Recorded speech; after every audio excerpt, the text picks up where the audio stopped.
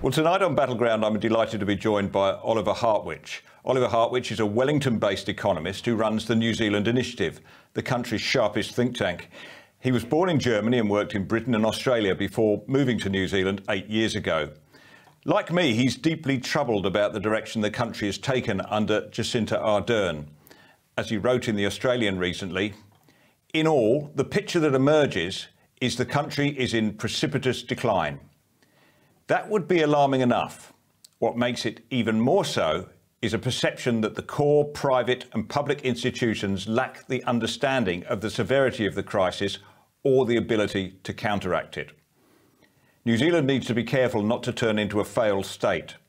That does not mean it should expect civil unrest, but a period of prolonged and seemingly unstoppable decline across all areas of public life. Well, Oliver, they're strong words. Do you resile from any of them? No, I think I was still putting it diplomatically. But anyway, great to be with you, Nick. Yes, I've been here for a decade now, and I've seen New Zealand change almost beyond recognition. The country I moved to in 2012 was actually a fantastic place to move to, especially from Australia. I came right out of the chaos of the Rudd and Gillard years.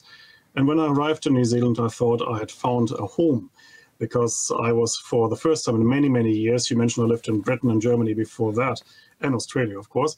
Um, I was living under adult government with John Key and Bill English, and it felt great. But what we've seen here over the last five years, the government of Jacinda Ardern has completely changed the country beyond recognition. And I think New Zealanders are now slowly waking up to the crisis that is thrusted upon them. We have a problem in fiscal policy where our government has spent way too much during COVID. We have a problem in monetary policy where our Reserve Bank has lost its way. We have a problem actually with race relations because this government is now trying to divide New Zealanders into Maori and non-Maori, something that wasn't really there when I arrived 10 years ago. So this country has problems on every single level. We can talk about the education system, we can talk about the housing market, we can talk about health, we can talk about Three Waters. There is not a single area of public policy in New Zealand these days that is not in crisis. Well, first let's go to some of the structural issues because a democracy needs strong institutions and conventions to keep it in check. Uh, three-year elections, elections every three years, of course, we've both got those and I think they're very helpful. But then in Australia, we have a constitution, we have an upper house, uh, we have a federal system where power is divided between state and Commonwealth governments. You, of course, have got none of those in New Zealand. Is that part of the problem? Is too much power concentrated on one government? Yeah, basically the way the New Zealand election system works, the electoral system works, is it's an elected dictatorship. So for three years, if you're in power, you are in power, and there's very little stopping you. So there's no federalism in New Zealand. There's very limited local government. There is no constitution, at least not a written one. There is no constitutional court. There is MMP, at least. That's the electoral system which New Zealand inherited from Germany uh, almost 30 years ago. And that normally stops the excesses of power because it binds um, part, parties together into coalitions. It is very unusual, almost unheard of under MMP to get a one-party government, but that's what New Zealand got in 2020. As a result of COVID, New Zealand had a, an election in 2020 in which New Zealanders voted for Jacinda Ardern's Labour Party and gave it an unprecedented absolute majority in Parliament. That was not supposed to happen under MMP, and basically, it means that Jacinda can now govern without any checks or balances. We get three years of pure labor, and unfortunately, the country and the country's constitution isn't really made for that. Well, Jacinda Ardern put in place some of the toughest lockdown conditions anywhere in the world, certainly outside of China, thinking she could pursue a zero COVID policy. And in June 2020, she announced that she got there, that they'd eradicated COVID from New Zealand. Of course, now things are very different. I mean, the latest figures uh, in New Zealand, uh, there have been around 330,000 COVID deaths per million population. Uh, that's slightly fewer than Australia, uh, but uh, still in the same zone. When it comes to COVID deaths, the figures I've got, Oliver, 400 uh, Australian deaths per million stand at 482. Australia slightly lower at 476, Japan at 269. Now, to put that in context, of course, uh, the UK have many times more deaths as, as, as, most European and American countries do. but you know she did not achieve what she said she would do, did she? Which was to keep the curve flattened until there was a vaccine that was capable of controlling transmission. None of that happened. Well, she kept COVID out of the country largely for a couple of years, um, so we can give her that. Um, we had the first real COVID wave in New Zealand once the country was vaccinated. So if you compare the cumulative deaths in New Zealand to the cumulative deaths in the US or in Europe, you can see that, of course, we are still way behind uh, these figures that we would have seen in other places. So in that sense, it has worked. What hasn't worked is, of course, um, the delivery of the vaccine, for example. We were very slow to implement it, and that meant we were slow to reopen the country. We were slow to reopen the borders. I mean, the last bit of the border opening only happened last week. So basically, for two and a half years, New Zealand turned itself into a hermit kingdom with borders that were virtually closed to non-New Zealanders and very hard to cross, even for New Zealanders. So we had cases here where people tried to get into the country to be with their loved ones, to be with their families at times of you know deaths or marriages or whatever celebrations they had, they couldn't get in. We had the most interesting case, perhaps, with a New Zealand journalist, Charlotte Bellis, who was stuck overseas while pregnant. She wanted to give birth in New Zealand and couldn't get in. Unfortunately, she didn't have a visa for anywhere else. And so, because she had previously reported from Afghanistan, she asked the Taliban whether they would give her asylum. And the Taliban were kinder to Charlotte Bellis, Charlotte than even her own government in New Zealand.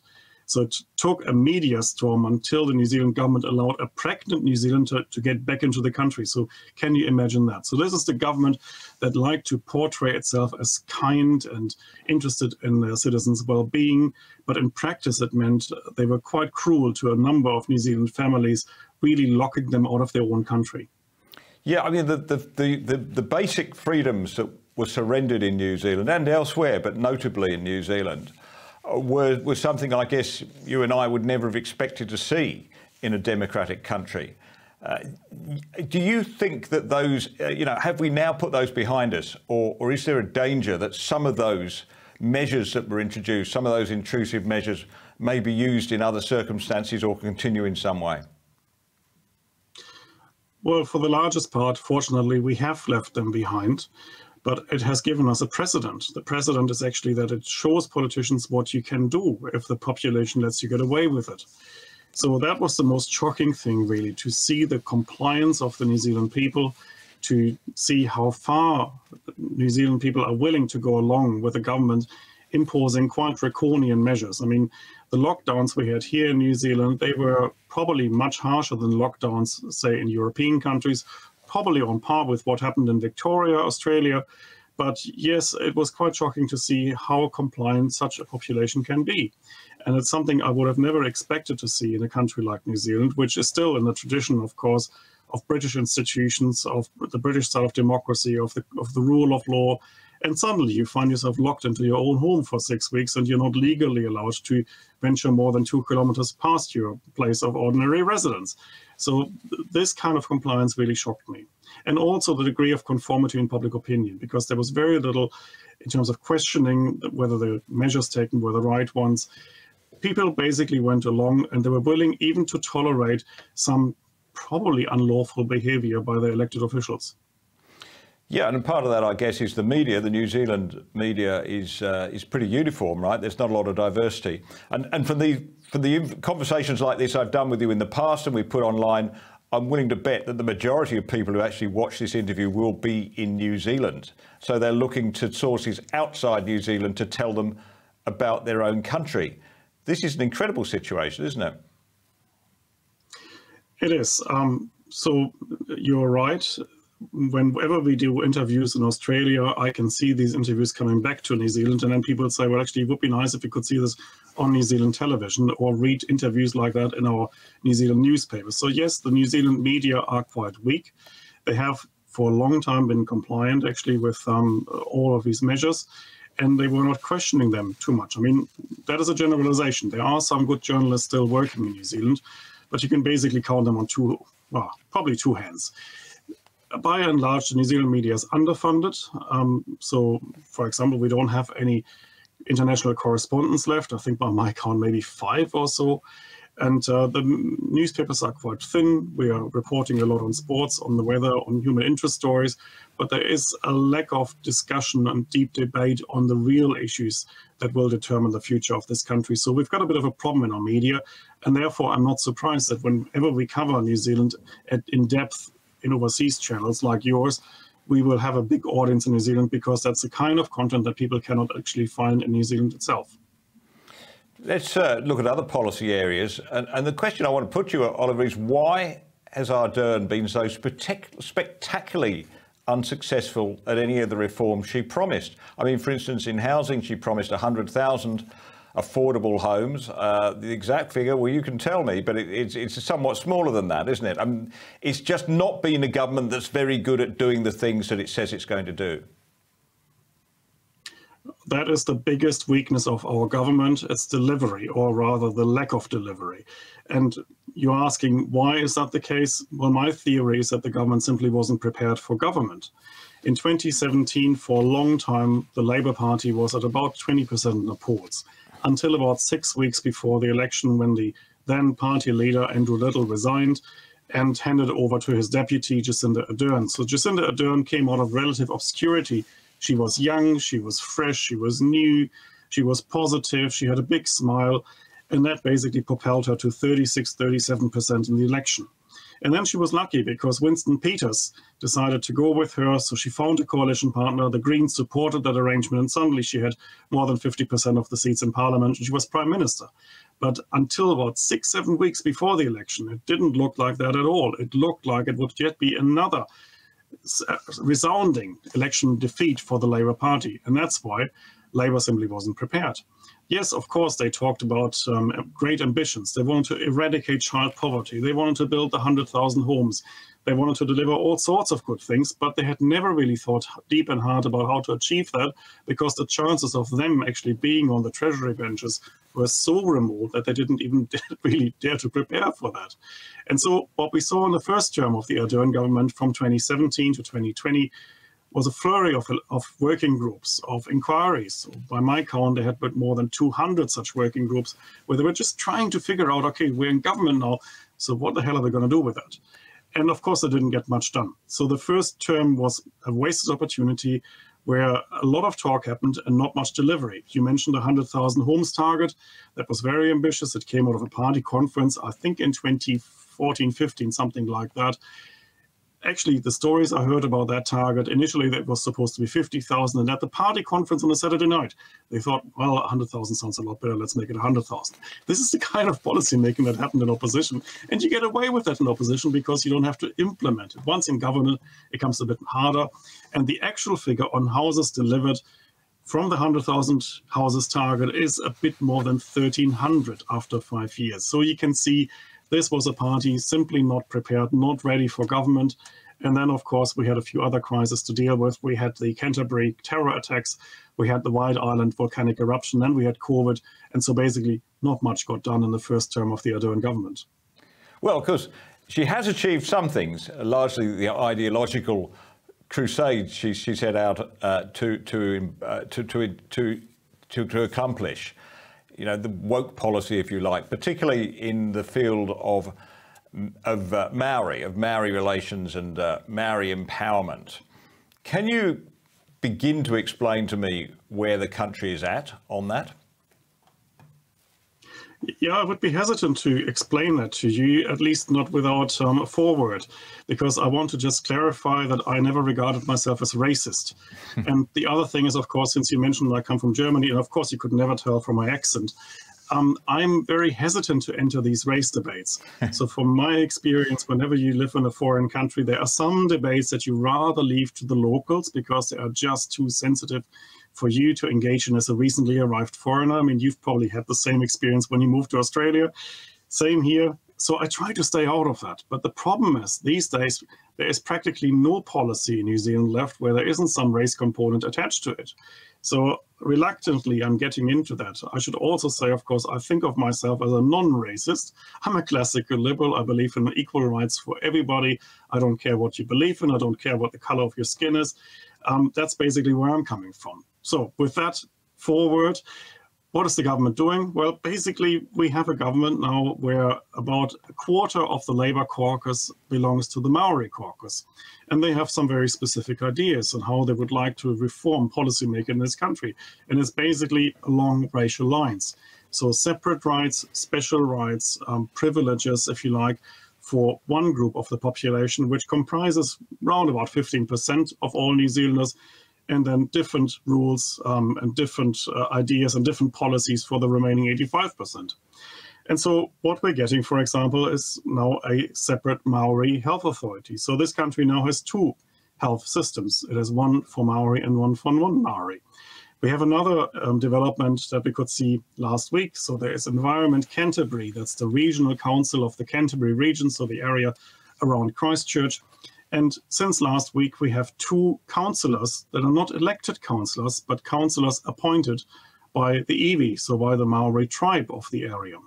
And so it is basically giving Maori an extra vote on the council, well, two extra votes, while also, of course, allowing Maori still to vote. So if you're Maori, if you're living in Canterbury, you can vote for the General Council. And on top of that, you can also appoint two extra councillors with full voting rights. So I would say, actually, from a democratic principles background, you would say this is not fair because typically we have one person, one vote.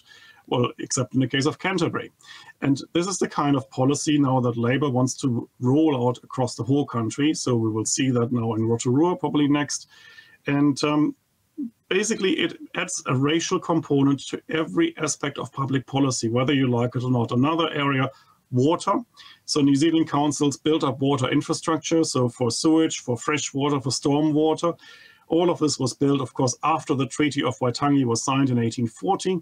So ratepayers have paid for this over generations. Now Labour comes along, effectively confiscates it from councils, and then puts a governance structure in place where 50% of voting rights in governance of these entities will rest with tribes well, again, this is not quite my understanding of local democracy, and I think it is deeply unfair to ratepayers who've paid for this infrastructure, you know, billions of dollars over more than 160 years, or actually 180 years almost.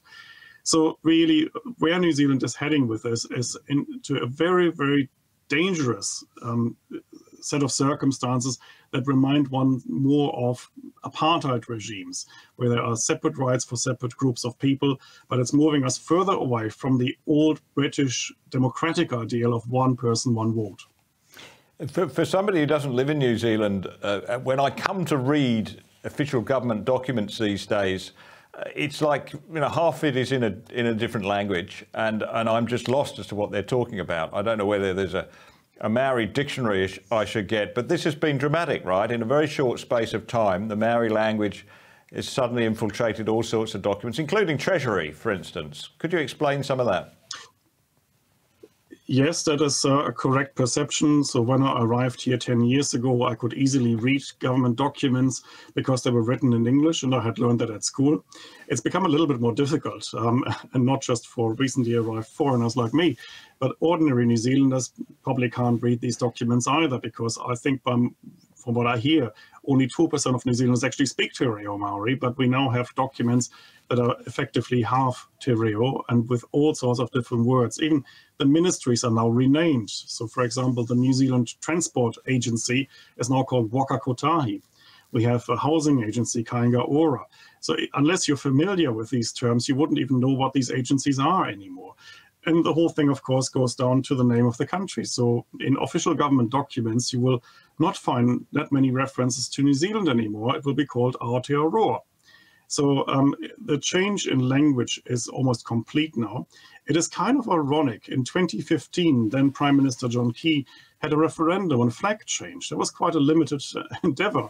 So all he wanted to do was to change the flag and remove the Union Jack and have something a little bit more New Zealand, maybe with a koru or something like that. And even that was rejected by the New Zealand population. And it was a really kind of symbolic and relatively meaningless thing in comparison. Well, seven years on, and they're changing everything about the country, including the name of the country, and nobody's ever asked about it. So, how do ordinary Kiwis react to this? Are they up in arms? Are they all over talkback radio? Well, there are two responses you get from Kiwis. One is in private and the other one is in public. In private, they will tell you that they don't understand anymore what's happening. They don't recognize the country in which they've lived sometimes for decades anymore because it feels like a foreign place. The place has changed so much and people are unhappy with the direction of travel. The public response is different because in public, nobody wants to admit that they feel that way because they fear that they might be labeled racist for opposing any of these developments and so it's a very unhealthy thing. I think if you polled New Zealanders asking them whether they still feel able to say what they really think in public, I suspect a large majority, maybe 80, 90% of people would say that they don't say, dare to say anymore in public what they really think, which again is very unhealthy for democracy. China, of course, is ever present in our discussions these days, particularly with the tension around Taiwan. How do you think the New Zealand government has taken the threat of China? Um, perhaps we could listen first to Jacinda Ardern herself addressing the Lowy Institute in Sydney.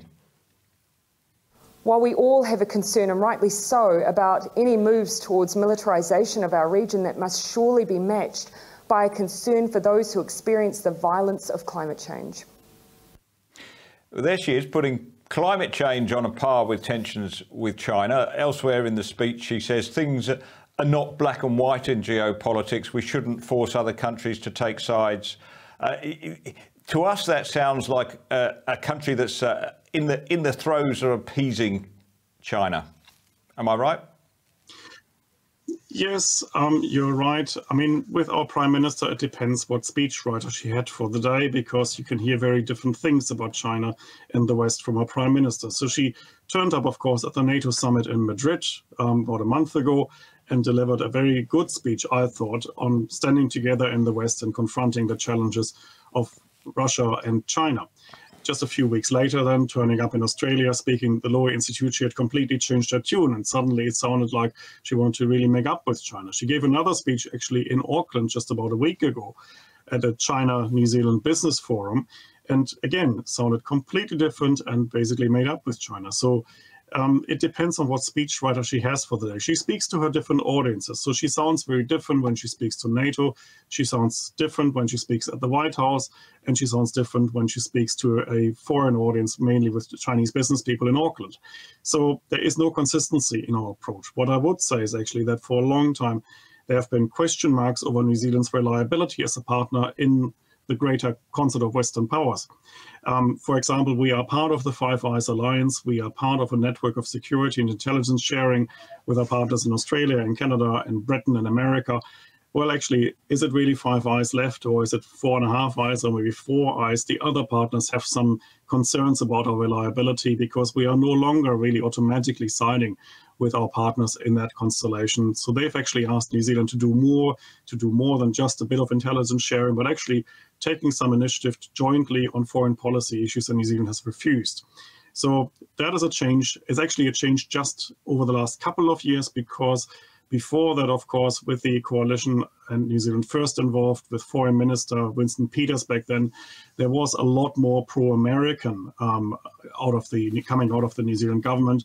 There was talk of a Pacific reset where um, our Foreign Minister Winston Peters wanted to actually work more closely with our Pacific partners um, because we want to actually counteract the threat of China in the region. That has changed now that Labour is in power on its own without Winston Peters. Well, Oliver, thank you very much for keeping us up to date with New Zealand, indeed alerting us to some of the things over there, because as you point out, when it comes to uh, China and strategic influence, then uh, there's no more important near, no more closer partner in terms of geographic uh, proximity than New Zealand. It's important that we stay solid, of course, uh, in, in defiance of Chinese Uh, uh, belligerents, but economically too. Thank you, Oliver. We hope to have you back on Battleground again soon. Anytime, Nick. Great to be with you.